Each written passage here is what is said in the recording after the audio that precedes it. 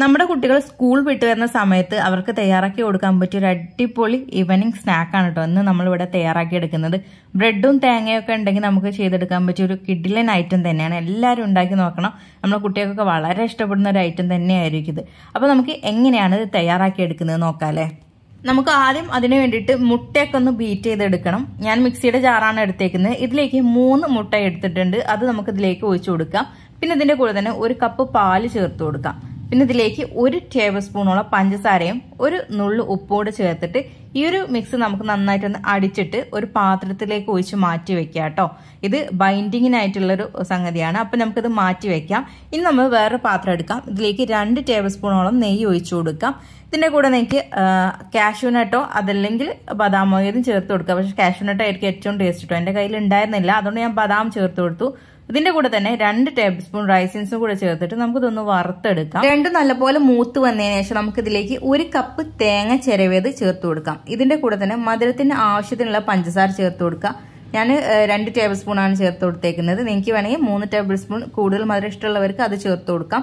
അതിന്റെ കൂടെ തന്നെ ഒരു ടീസ്പൂണ് ഏലക്ക പൊടി ചേർത്ത് കൊടുക്കാം. അതുപോലെ ഒരു കാ കപ്പ് ചെറീസാണ് കേട്ടോ ഞാൻ ഇവിടെ ചേർത്ത് കൊടുത്തേക്കുന്നത്. ഇതില്ലെങ്കിൽ വേണ്ട നമുക്ക് ഒഴിവാക്കാം. എന്നിട്ട് നന്നായിട്ട് നമുക്കിതൊന്ന് മിക്സ് ചെയ്തെടുക്കാം. ഈ ഈ തേങ്ങയിൽ ആ വെള്ളമായി ഒന്ന് നന്നായിട്ട് പോകണം പഞ്ചസാരയൊക്കെ നല്ല നല്ലപോലെ മെൽറ്റ് ചെയ്ത് വരികയും വേണം കേട്ടോ.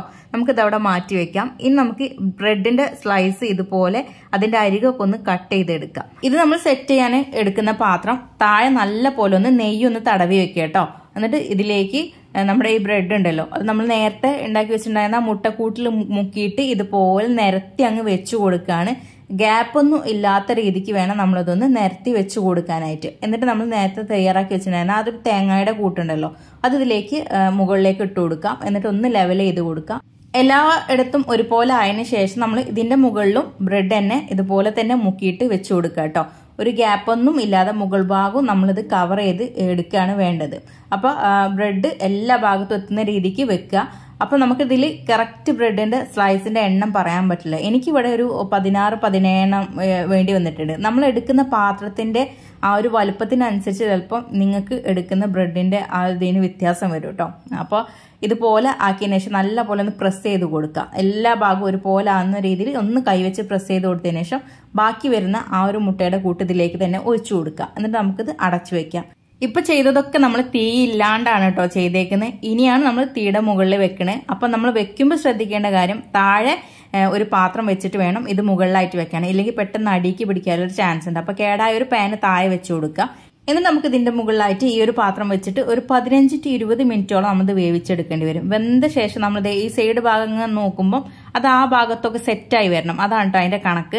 ഇനി നമ്മൾ വേറൊരു പാത്രത്തിലേക്ക് ഇതൊന്ന് ഫ്ലിപ്പ് ചെയ്യണം. മറ്റേ ഭാഗം കൂടെ ഒന്ന് മുരിഞ്ഞു വരാൻ വേണ്ടിയിട്ട്. അപ്പോൾ ഇതുപോലൊരു പാത്രം എടുക്കുക. അതിലേക്ക് ഒന്ന് നെയ്യൊന്ന് തടവിന് ശേഷം ആ ഭാഗം കൂടെ നമ്മളൊന്ന് ഫ്ലിപ്പ് ചെയ്തെടുത്തിട്ട് ഇതുപോലെ ഒന്ന് മൊരിച്ചെടുത്താൽ മതി. ഇത്രയേ ഉള്ളൂ ഇത് ഉണ്ടാക്കിയെടുക്കാനുള്ള പണി കേട്ടോ. നല്ല ടേസ്റ്റി ആയിട്ടുള്ള ഒരു വിഭവം തന്നെയാണ് നമ്മുടെ തേങ്ങാബണ്ണൊക്കെ ഉണ്ടല്ലോ.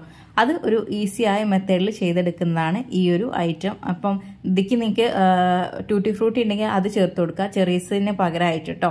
ഏതാണോ നിങ്ങളുടെ ഇഷ്ടം അത് നിങ്ങൾക്ക് ചേർത്ത് കൊടുക്കുക. ചെറീസ് ചേർക്കുമ്പോൾ നമുക്ക് ഒരുപാട് മധുരം ചേർക്കേണ്ട ആവശ്യം വരില്ല അതിൽ കുറച്ചൊരു ലിക്വിഡ് ടൈപ്പ് ഉണ്ടാവുമല്ലോ. അതുകൊണ്ട് തന്നെ. അപ്പോൾ നിങ്ങൾ എല്ലാവരും തയ്യാറാക്കി നോക്കുക. നമ്മുടെ മക്കളൊക്കെ സ്കൂൾ വിട്ട് വരുന്ന സമയത്ത് ഇത് ഉണ്ടാക്കി കൊടുക്കുക. അപ്പോൾ എല്ലാവർക്കും ഇഷ്ടപ്പെടും. അപ്പോൾ ഈ ഒരു വീഡിയോ നിങ്ങൾക്ക് ഇഷ്ടപ്പെടുവാണെങ്കിൽ ലൈക്ക് ചെയ്യാൻ മറക്കണ്ട. അതുപോലെ ഷെയർ ചെയ്യാനും മറക്കരുത് കേട്ടോ അതുപോലെ തന്നെ ഈ ഒരു ചാനൽ നിങ്ങൾ ആദ്യമായിട്ടാണ് കാണുന്നതെങ്കിൽ ഫോളോ ചെയ്യാനും കൂടെ മറക്കരുത്. അപ്പോൾ എല്ലാവർക്കും താങ്ക്സ് ഫോർ വാച്ചിങ്